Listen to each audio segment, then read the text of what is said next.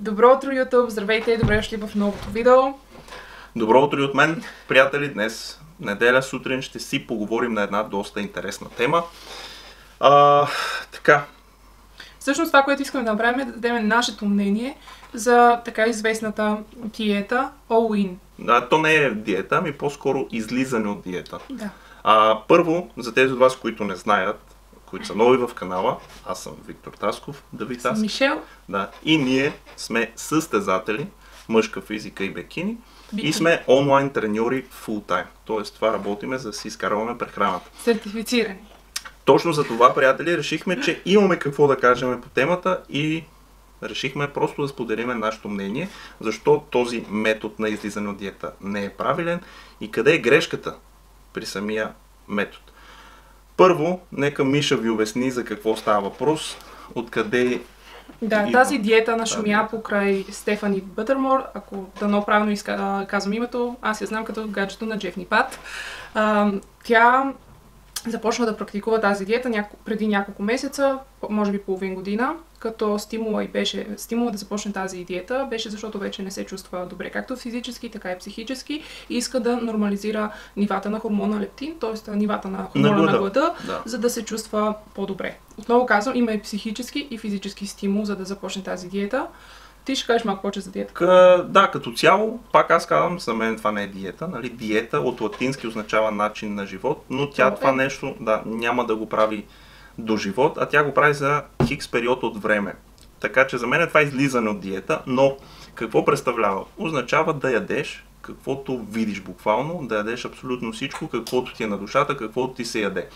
Ние Колкото ти се Да. да. също. Проблема тук е, приятели, още в сам, самия зародиш, в самото начало. Защо този човек е решил да поддържа форма, състезателна форма, за толкова дълъг период от време? Това е самия проблем. От тук идва и нейния проблем. И самия факт, че тя е стигнала до там, за да предприеме такова действие като all-in диет. И сега ще ви кажем, нали, защо. Да уточним, тя поддържа състезателна форма Да. в продължение на няколко години, което ние много пъти сме казали, че е адски нездравословно. Да, това е грешката при нея. Състезателната форма се поддържа една седмица. Ами, да, може би седмица, месец или 2-3 месеца, но не повече.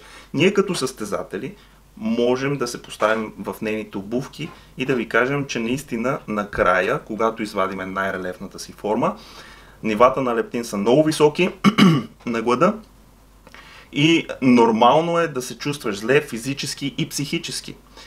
Точно за това ние не поддържаме тази форма с Мишел и нашите клиенти не поддържат тази форма не повече от нужното. Фактически спрят ли състезанията, веднага мислиме план за излизане от тази форма. Но план, който да е балансиран, а не да е all-in за да речеме половин година. Да, има моменти, когато, извинявай, че Не, прекъсвам, има моменти, когато самата диета, за да влезеш до такъв степен, а, до такава степен подкожни мазнини е много трудна и самия атлет или фактически който, човека, който се подложи на нея, дава много от себе си. И в този момент, примерно, да, за да речеме 2-3 седмици е окей да ядете каквото поискате, но не по-дълъг период от това. Просто ние не ви съветваме. Така, по принцип, за да започне тя тази диета и като цяло да, човек да има стимул да започне тази диета, вече най-вероятно е направил хранително разстройство. Човек, който няма хранително разстройство, т.е. няма тази нужда от всякакви, да яде всякакви букуци, за да се чувства щастлив и добре, не би тръгнал изобщо към, не би помислил за идеята да прави all-in диета, т.е. да яде всеки ден букуци. Ама при нея, да, при нея са даже много физиологичните сигнали. А, ти не можеш да контролираш лептина. Какво ти казва мозъка, това правиш реално. Сега, мозъка, ако иска да ядеш, и ядеш, това е. Точно. Само може до определен период от време да се противопоставяш, но не можеш така да живееш цял живот. Това, което искам да кажа е, че хранителното разстройство е психически проблем с физически ра- характер и не се лекува с преяждане в никакъв случай. А, моят съвет винаги е, ако имаш такъв проблем и имаш ужасната нужда да преяждаш постоянно и го правиш вече в продължение на половин година, то по-добре потърси психолог, а не дей да правиш такива самолечения с преяждания.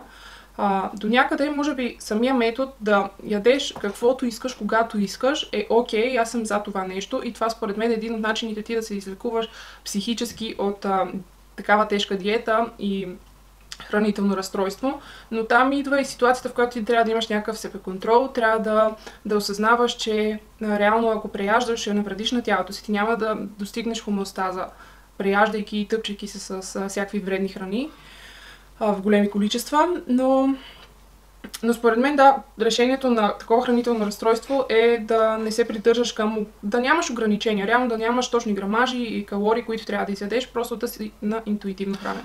Другото нещо, физиологичен отново проблем, а високата кръвна захар, което може да е страшно, страшно вредно за вас, което само по себе си в дългосрочен план, план може да дока... доведе до... Редица здравословни проблеми. Да, редица здравословни проблеми.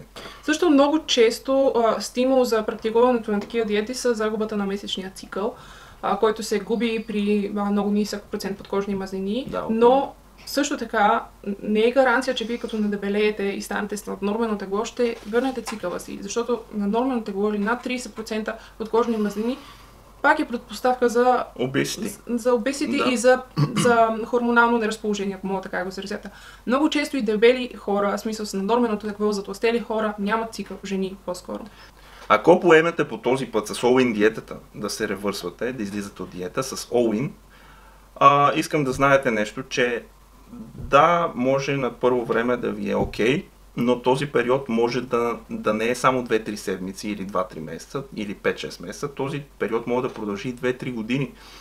Това какво означава? Че 2-3 години вие нон-стоп ще преяждате ли? Или в смисъл ще, ще се чувствате така нездравословно? Ще свикнете с това, че вие ще се с наднормено тегло до някаква степен. Е, Това е също един проблем, който трябва да се засили. Абсолютно И не е. трябва да се има в предвид.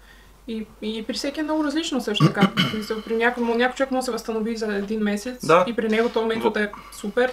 Идеята на тази Стефани фактически е да възстанови нивата на лептин, след което, според нея, хипотетично, няма да чувства глад, което само по себе си, без да влиза в калориен дефицит, ще доведе до нормализиране на нейното тегло и до достигане на хомеостаза. Нали, това е окей, готина идея, но това нещо може да отнеме години, не само месеци, а вие да се храните по този начин в дългосрочен план не ви прави фит по никакъв начин. Според мен. Да.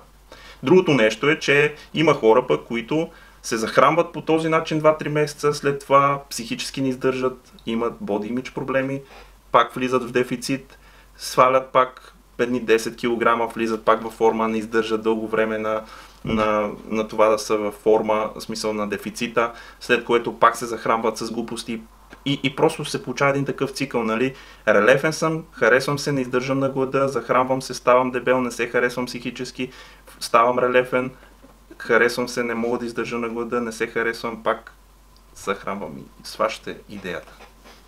Направо да им дадем съвети Да. как според нас е правилно да постъпят всъщност Да. тази ситуация. На първо четене, моля, моля, моля, моля, ако решите да ставате релефни за лятото, за състезание, не ви съветваме, приятели, да поддържате тази форма повече от нужното. Да речеме едно състезание, две състезания, месец, два най-много. След което веднага ревърс. Има и още един тук фактор. А, Реално някои хора си поддържат нисък процент подкожни мазнини винаги. Винаги. така, такива значи са си това е били винаги. Да, това си И за тези хора могат да си го позволят. Обаче в моята ситуация, примерно аз съм по-пълничка, винаги съм била Да. малко по-мазна, аз не мога да си го позволя това. Ако, си, ако, го, ако се опитам, ако се стремя към това нещо, ще има кофти последици. Да, сигурност. катастрофални а, последици Да. ще има.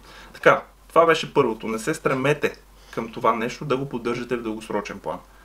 Нали, както каза Миша, някои от нас ще изкарат формата по-лесно, за другите ще е много по-труден този период. Второто нещо. След като сте постигнали тази форма, какво да направите? Не вкарвайте all-in диетата. Това, което според мен и според Миша, най-вероятно, е редно да направите е яще си първо а, обемните храни. Придържайте се към това нещо. След това добавяйте тези джънк храни. След като сте си изяли. Примерно, как аз бих си направил едно меню. Да речем едно мое хранене би изглеждало последния начин. Източник на протеин си слагам примерно 100-200 грама пилешко.